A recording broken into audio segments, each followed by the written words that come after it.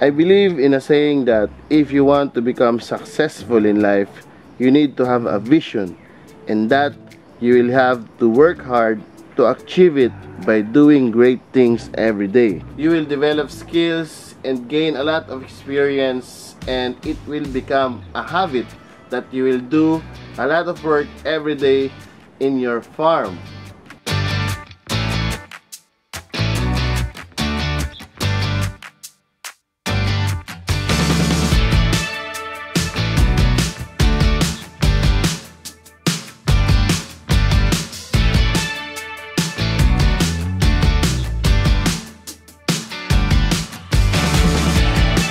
Good habits will lead you to a good result and it will eventually put you to achieve your visions in life.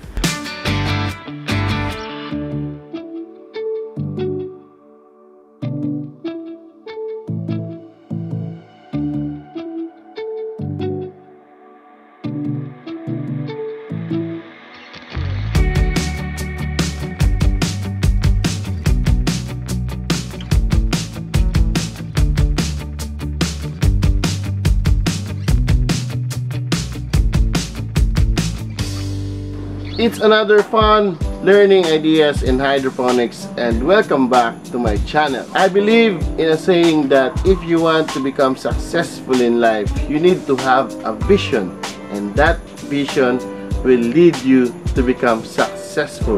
In today's video, I'm going to inspire you once again because a lot of people are asking me one question. How much capital will I take to put up a large hydroponic system or a large greenhouse for business, my advice is just start small, gain enough knowledge, and have more experience, especially in selling. Promoting your crops is not easy, but you need the guts to do it. If you made this, business will follow. Doesn't matter where we go destination or no. I don't care where the motor stops. Cause when I want it, then I want it. Yeah, I want it. Oh, I want it. Let's go. Look around, where's the people at? I want a taste of the good life. Hit me with it right now, in it. Cause when I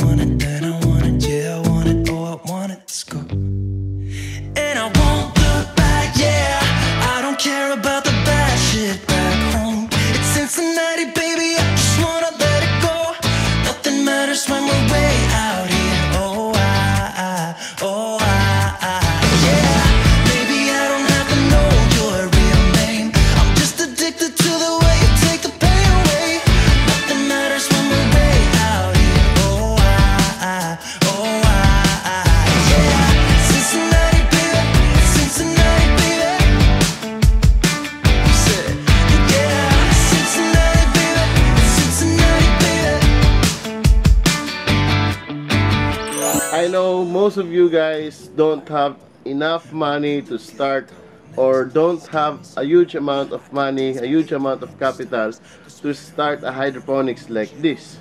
Now I'm going to share to you what are my experience and what are my strategies from small space up to this large greenhouse and I am expanding more and more because today is November I want you to learn also the strategies of mine before I achieve this a huge greenhouse so I started with 2 by 12 space at home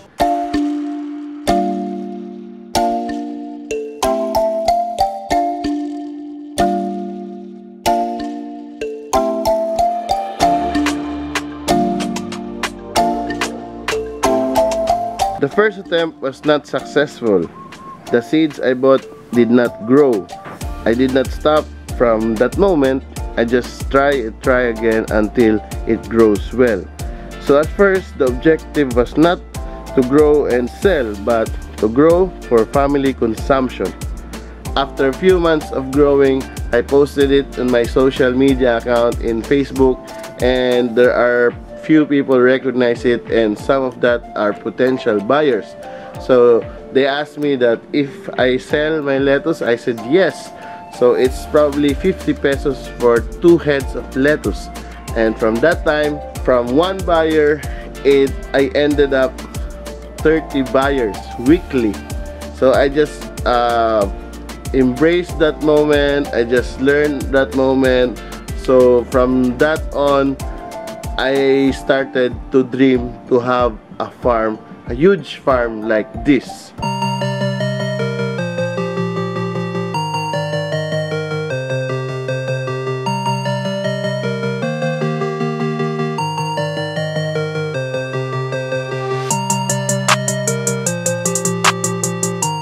So guys, this is the first setup. This is the gable type greenhouse. We put 400 boxes here and all Kratky method. I have no money to hire uh, people to work for me. So that's why me and my wife are the first employee here in J&G Backyard Lettuce. So from there, we save enough money and then we save and we save then we turn this into NFT hydroponics system because this system will accommodate lots of lettuce.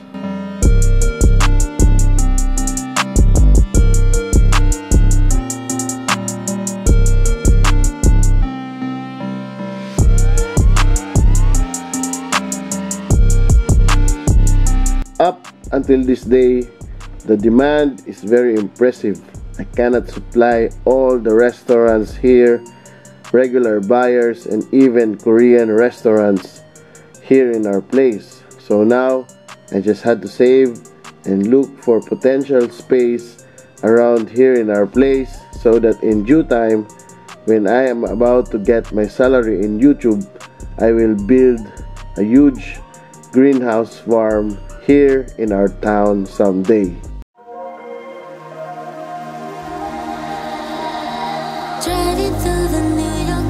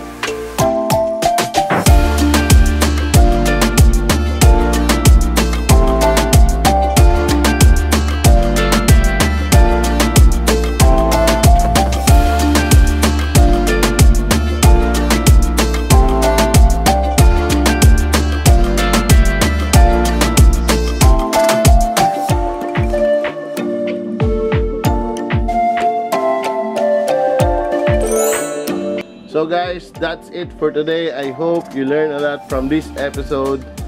Learn to grow first before jumping into business because you have to experience a lot.